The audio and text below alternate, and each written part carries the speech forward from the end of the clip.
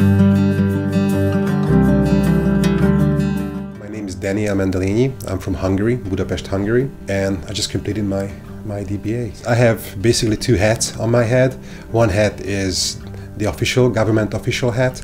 I'm an ambassador of Hungary. I'm responsible for international business development, so flying around and looking for opportunities for Hungarian companies. So that's one. The other one is I have my investment firm and that firm invests primarily in the US and Europe.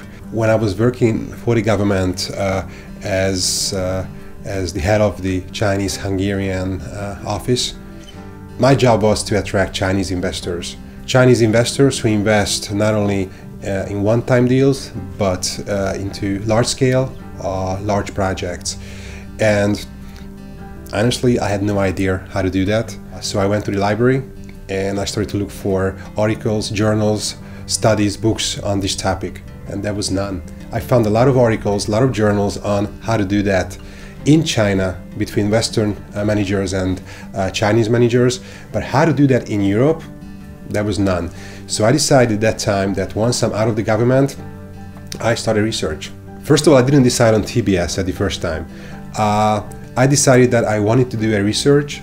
I was looking for a university which has good brand, first of all, and which was two hours flight from Budapest. So I started to search the website of the AACSB first, the accreditation body, and I narrowed down the, the universities.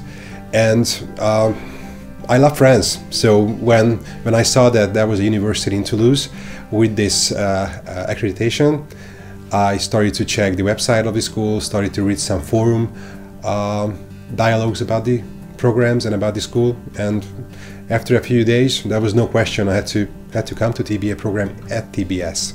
The program structure very much favors the working adults. That's that that was something I, I loved when I started to research on which school to go. At DBA, DBA programs in Europe, you don't have to spend every day in the school. So you have the time for, for your professional life, you have the time for your family life. It's not enough to just come down to the school every probably two months, maybe. I think that was how, how frequently we had to come down, and we always spent one week here. But every time we went home, well, I had to make sure that uh, I continued studying. Not much, so I don't want to scare anybody, but you have to study. The first and probably the most interesting aspect is the human aspect.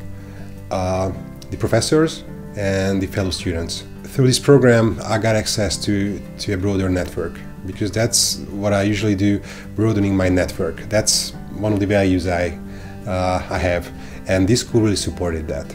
So all these people I met from Brazil, uh, Lebanon, Israel, France, valuable people, great people, and they are they are making my network a lot, a lot more valuable.